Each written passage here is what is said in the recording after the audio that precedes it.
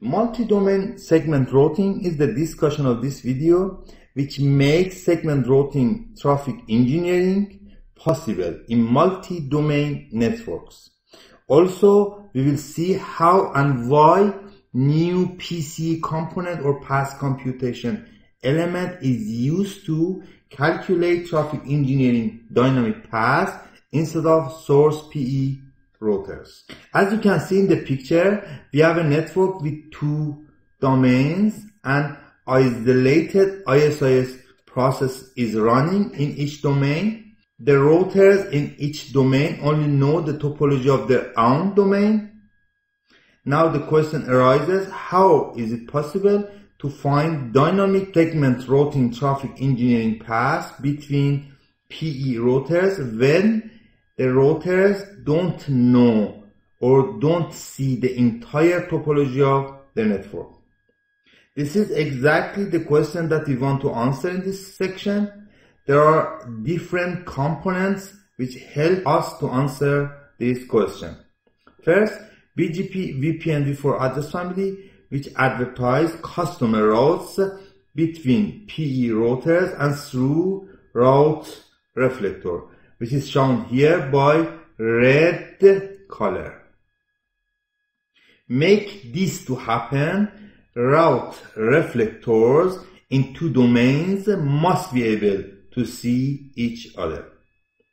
To make route reflectors in two domains to reach each other, we create a BGP IPv4 address family between ASBR routers in two domains, shown here by black color the only address that is advertised between two domains and through BGP IPv4 address family is the IP address of route reflector routers.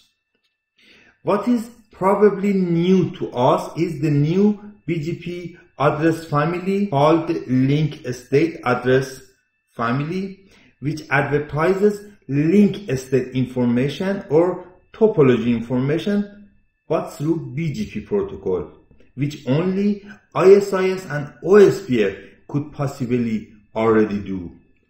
In this network, in order to make the topology of each domain known to another domain, the topology of each domain is advertised to another domain through route reflector and BGP link state address family.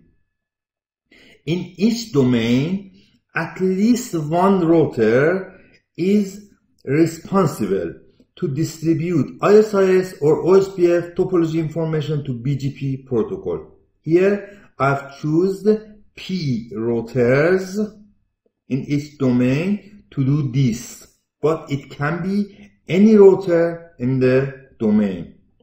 Here with purple color, it is shown that PE routers advertise the topology information to route reflector through BGP link state address family. Route reflector advertises information between domains. Now at least one router in addition to route reflector in each domain knows the topology of the both domains. Don't forget that the router that knows the topology of both domains can be a different router than PE routers.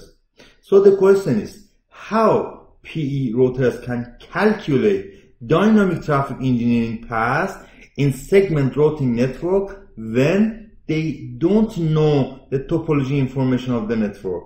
So here new PC component comes to play. Topology information must also be made known to the PCE router, which is responsible for dynamic path calculation instead of P routers.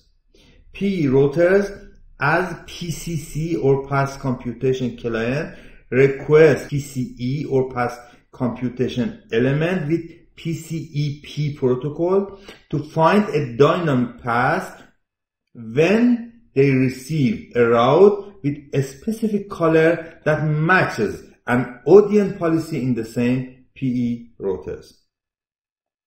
PCE also inform PCC of any topology changes with new path information. The communication between PCC and PCE is shown here with green color, which is PCEP or Path Computation Element Protocol. Here, since I have the topology information of both domain in PE routers, I don't actually need a PCE component. The path can be calculated by PC router itself, but one goal of this video was to introduce you the new PCE component in segment routing technology. Another component that is shown between ASBR is the configuration of BGP egress engineering. It creates an adjacency SID for the links between ASBR1 and ASBR2. It is not generated by OSPF or ISIS protocol since these protocols are not enabled in this link. This is required to generate adjacency SID for the links between ASBR routers so that the source PE routers or PCE can choose which link to use between domains if there are more than one link or one path between domains. To make video not too long, in the next section, we will see how segment routing in multi-domain network is implemented.